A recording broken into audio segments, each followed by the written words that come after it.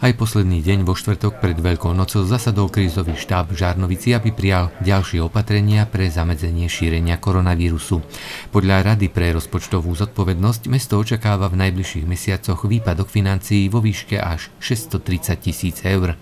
Preto už na predchádzajúcich zasadnutiach hľadalo rezervy na pokrytie tohto výpadku. Našlo ho vo vlastných radoch. Na základe týchto informácií sme prijali opatrenia, kde sme v rozpočte znížili výdavky o 550 tisíc eur.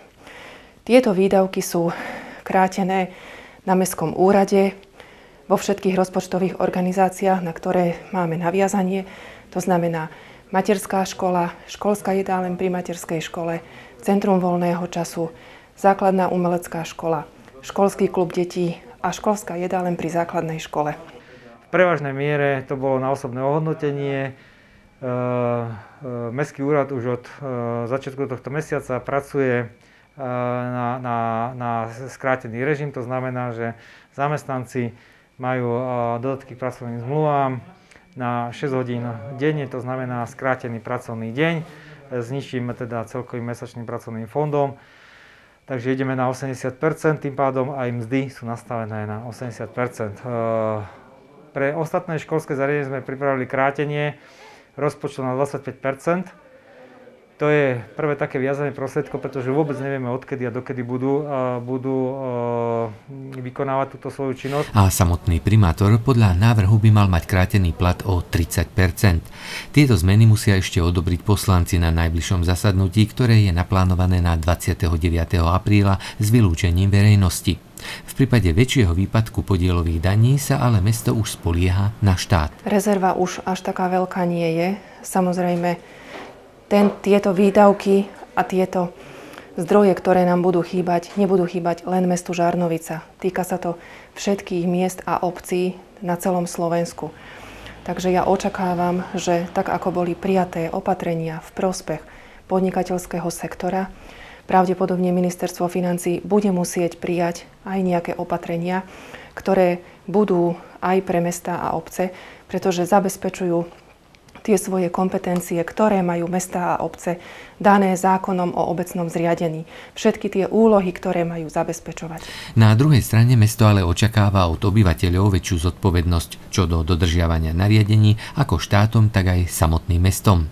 Apeluje hlavne na hygienu, na hlasovaní podozrivých cespolných, pohybujúcich sa alebo bývajúcich po ubytovniach a hlavne nosenia rúšok. A chcem upozorniť všetkých, že podľa novely je za porušovanie takýchto nariadení aj teda nosenie rúška na verejnosti je sankcionovateľné až do výšky mestskou políciou 1000 eur. To znamená, že chcem upozorniť, prosím vás, robte to vo vlastnom záujme. Pokiaľ nie, tak skutočne uh, ja som inštruoval po, po niekoľkých, uh, pokiaľ sa týka tých istých osôb, ale budú to ignorovať no budú prichádzať takéto tvrdé sankcie, pretože potom takíto ľudia ohrozujú niekoho iného. A pritom to vôbec nemusia vedieť. Mesto do týchto dní postupne nakúpilo 6700 rúšok, ktoré z väčšej časti už rozdalo obyvateľom. Zároveň sa ale snaží aj inými spôsobmi zmierniť následky rôznych nariadení.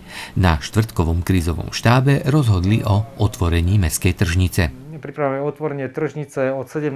za prísnych opatrení, lebo, lebo je nenormálne, aby aby e, stáli pred potravinami, ja neviem, 50 e, rady e, tých, tých miest, ktoré, kde si môžu ľudia zabezpečiť tie základné potraviny, zeleninu a podobne, takéto veci, tak aby bolo čo najviac, nemusia byť tak dlho otvorené, pretože až 100 ľudí ktorých dostajeme z potravín možno na tri predajné miesta, tak ich tam bude len po 30 a, a skôr sa to dá nejakým spôsobom ustrehnúť. Menej nervozity tam bude a tí ľudia sa dostanú vlastne k tomu, to, čo potrebujú. V Európe si nákaza vyžiadala už 60 tisíc obetí a preto každé nariadenie, ktoré niekto poruší, môže zvýšiť toto číslo o desiatky. Preto správajme sa v tieto dni zodpovedne a opúšťajme svoje domovy len v nevyhnutných prípadoch. Navyše až do útorku je všeobecný zákaz vychádzania.